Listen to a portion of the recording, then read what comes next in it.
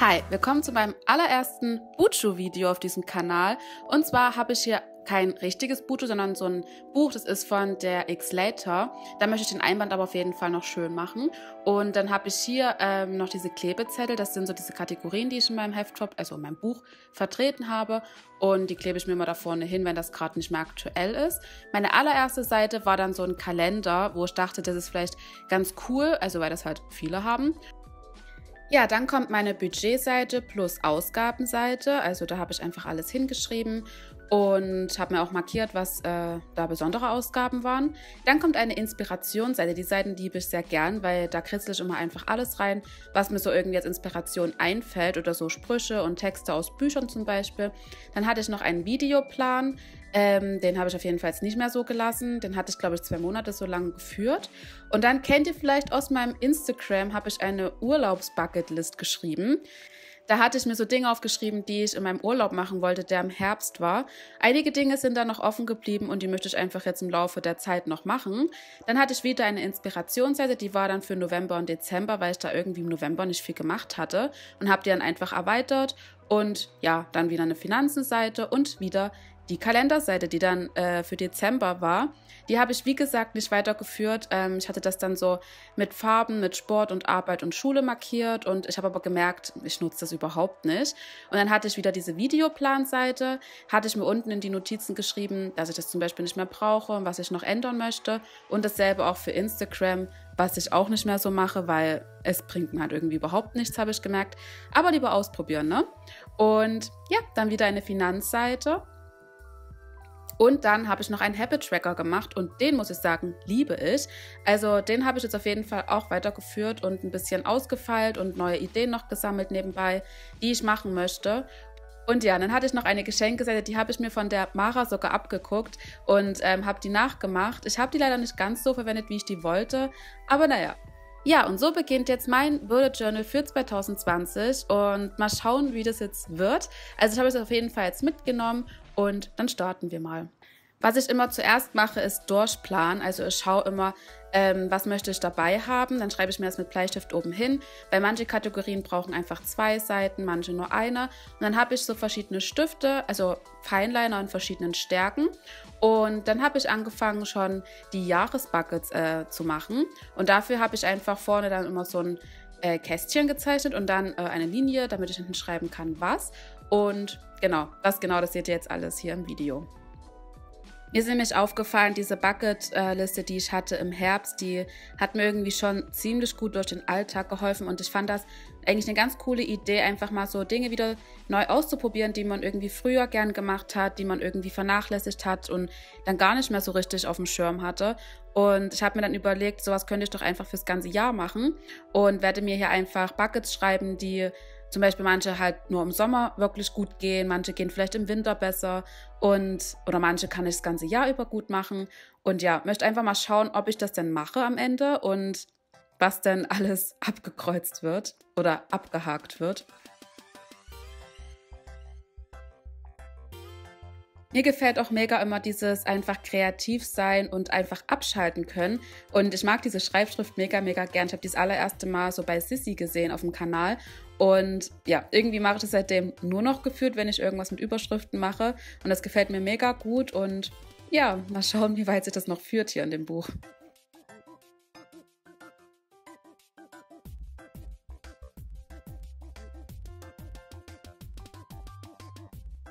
Was äh, am Anfang meines Bullet Journals auch nicht fehlen sollte, ähm, sind so Morgenroutinen beziehungsweise Routinen, die ich habe, wenn ich zum Beispiel Frühschicht habe oder wenn ich Spätschicht habe, Schule, frei, je nachdem. Ich habe mich jetzt aber dafür entschieden, dass ich nur eine Routine zur Frühschicht und zur Spätschicht mache, da das bei der Schule eigentlich, also weiß nicht, ich glaube, das wird sich eher an meine Frühschicht dann so ein bisschen anpassen, nur dass einfach alles ein bisschen später ist.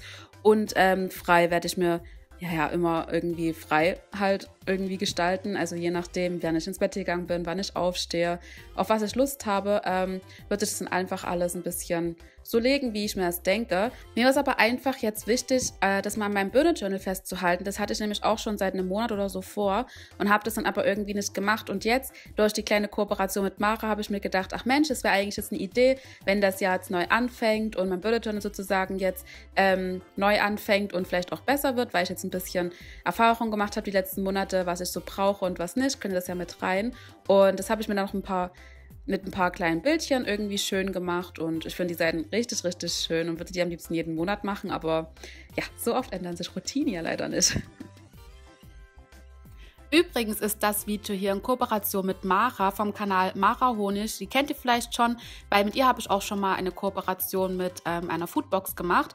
Und wir dachten uns, wir starten das neue Jahr mit unserem neuen Bullet Journal, beziehungsweise mit unserem neuen Design. Bei ihr ist es aber ein komplett neues Buch.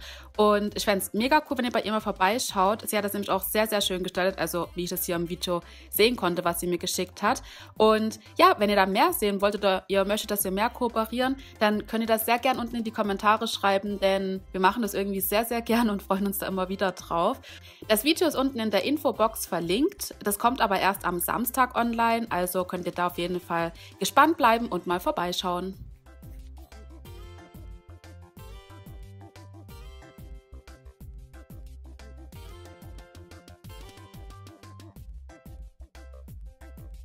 Mir kam dann noch die Idee, ähm, weil ich ja diese Weihnachtsgeschenkeliste hatte, das einfach fürs ganze Jahr auch zu machen. Denn ich habe eigentlich auf meinem Handy so eine, also auf der Notizen-App habe ich dann so eine Liste, wo ich immer alle Geschenke-Ideen reinschreibe, wenn ich welche habe für Freunde oder Familie. Und ich habe mir gedacht, das könnte doch eigentlich auch in meinem Buchschuh rein. Und da könnte ich immer Ideen reinschreiben. Ich könnte dann auch abhaken, ob es schon besorgt ist, ob ich es schon verpackt habe.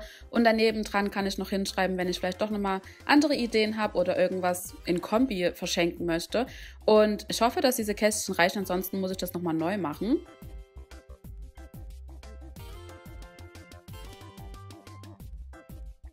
Und als nächste Seite kommt wieder eine Inspirationsseite. Die wird jeden Monat wahrscheinlich ähm, neu gemacht, da ich ja jeden Monat wahrscheinlich auch neue Inspirationen gesammelt habe oder hoffentlich. Und daneben habe ich eine Video-Ideenliste gemacht. Ähm, die wird, denke ich, auch monatlich gemacht. Hier habe ich mich auch an einer neuen Schrift ähm, probiert. Die habe ich ja vorne auch schon genommen und finde die eigentlich irgendwie ganz cool. Die ist auch total simpel. Also habe ich noch nie gemacht, aber ich fand das eigentlich ganz cool. Und ja, mal schauen, wie ich diese Liste führen werde und ob ich sie überhaupt lange führen werde, das werde ich einfach sehen.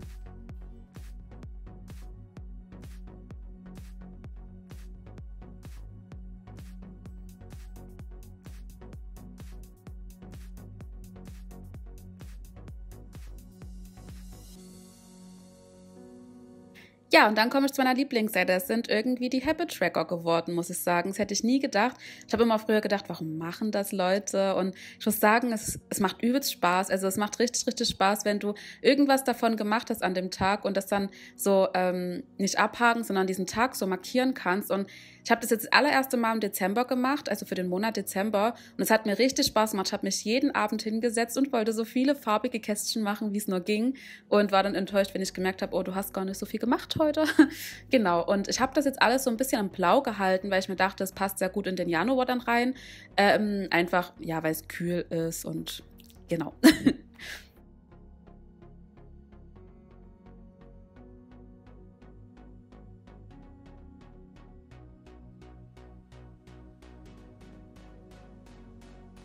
Ja, und dann kam schon meine Budgetseite, also da, wo ich meine festen Ausgaben reinschreibe, wo ich mein Gehalt reinschreibe, das ich diesen Monat bekommen habe, wo ich vielleicht noch Einnahmen mit reinschreibe, was auf meinen Sparkonten ist. Alles Mögliche, was irgendwie mit meinem Geld zu tun hat. Ähm, und das habe ich jetzt auf einer Einzelseite, weil dafür brauche ich nur eine, da meine Ausgabenseite wahrscheinlich wieder zwei Seiten braucht am Ende. Und deswegen habe ich mich dafür entschieden, dass das auf eine Seite hier kommt und dass dann die nächsten Seiten sozusagen meine Ausgabenseiten werden. Und ich mag diese Seiten irgendwie auch mega gern, aber ich, muss, ich musste bis jetzt jeden Monat irgendwas ändern an meinen Kästchen, weil dann irgendwie doch was gefehlt hatte, weil zum Beispiel GEZ zum Beispiel zahle ich halt nur alle Vierteljahre sozusagen. Und Genau. Und die nächste Doppelseite wird dann meine Ausgabenseite. Und da habe ich aber jetzt erstmal nur eine Seite gemalt oder gezeichnet, ja, ausgeführt sozusagen, weil ich auch schon einen Monat hatte, wo ich nur eine Seite gebraucht habe. Und ja, es gibt aber auch Monate, da gibt man gerne mehr aus, beziehungsweise man hat kleinere Ausgaben mehr und deswegen, ja, werde ich einfach auf gut Glück mal schauen, wie viel ich brauche. Ja, zu guter Letzt kommen wir dann auch schon zum Gestalten meiner Seiten. Also das mache ich wirklich immer ganz zum Schluss, wenn ich meine Grundgerüste schon soweit stehen habe. Bei meinen Jahresbuckets habe ich dann auch einfach ähm, sozusagen alle Jahreszeiten versucht ähm, reinzumalen, da das ja fürs ganze Jahr ist und dann halt nicht nur den Herbst oder den Winter reingetan. Und ja, also es macht mir irgendwie mega viel Spaß. Und hier seht ihr mal, was ich komplett überall gemacht habe. Ich habe jetzt nicht alles aufgenommen.